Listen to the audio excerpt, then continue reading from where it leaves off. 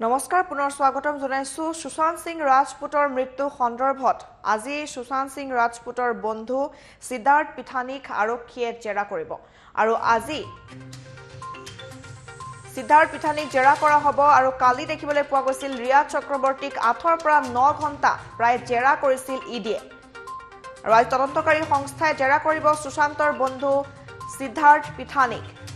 যিগৰাকী বন্ধুৰ সৈতে একেলগে আছিল ৰুমমেট আছিল সুশান্ত সিং ৰাজপুতৰ। সোমবাৰে জেৰা কৰিব ৰিয়া চক্ৰৱৰ্তীৰ ভাতৃ আৰু পিতৃক। আৰু ইতিমধ্যে ৰিয়া চক্ৰৱৰ্তীক জেৰা কৰা হৈছে। আঠৰ পৰা ন ঘণ্টা পৰ্যন্ত মাৰাথান জেৰা চৰাইছিল ই ডিয়ে ৰিয়া চক্ৰৱৰ্তীক। সুশান্ত সিং ৰাজপুতৰ মৃত্যু সন্দৰ্ভত অভিযোগ উত্থাপিত হৈছে আৰু পি এম এল এ এক্টৰ অধীনত জেৰা এনফৰ্চমেণ্ট ডিৰেক্টৰেটৰ। আৰু তেওঁলোকে প্ৰায় আঠৰ পৰা ন ঘণ্টা কথা পাতিছে লগতে ৰিয়াৰ বিৰুদ্ধে যি অভিযোগ আছিল সেই অভিযোগসমূহৰ বিষয়েও কথা পাতিছে। আৰু ইতিমধ্যে ৰিয়া চক্ৰৱৰ্তীক নিৰ্দেশ দিয়া হৈছে বহু ব্যক্তিগত তথ্য তেওঁ দিব লাগিব ৰিয়া চক্ৰৱৰ্তীয়ে দিব লাগিব কাৰণ প্ৰায় পোন্ধৰ কোটি টকা।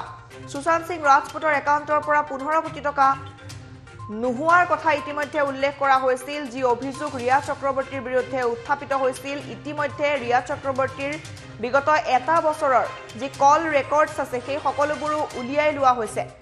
কাৰ কাৰ লগত তেওঁ কথা পাতিছিল এই মৃত্যু সন্দৰ্ভত জড়িত হৈ আছে নেকি ৰিয়া চক্ৰৱৰ্তী? লগতে ৰিয়া চক্ৰৱৰ্তীৰ পিতৃ আৰু ভাতৃ এই সন্দৰ্ভত পুনৰবাৰ ই ডিৰ এই তদন্ত আৰম্ভ হৈছে। চি বি আই তদন্ত দিয়াৰ পাছতেই জেৰা কৰিছে ই ডিয়ে আৰু সোমবাৰৰ দিনটোত ৰিয়া চক্ৰৱৰ্তীৰ পিতৃ আৰু ভাতৃকো জেৰা কৰিব ই ডিয়ে আৰু সুশান্ত সিং ৰাজপুতৰ বন্ধু সিদ্ধাৰ্থ পিঠানীক আজি জেৰা চলোৱা হ'ব। কাৰণ সিদ্ধাৰ্থ পিঠানী সেই সময়ত ঘৰত উপস্থিত আছিল যি সময়ত সুশান্ত সিং ৰাজপুতৰ মৃত্যু হৈছিল গতিকে সিদ্ধাৰ্থৰ ওপৰতো বহু অভিযোগ উত্থাপিত হৈছে।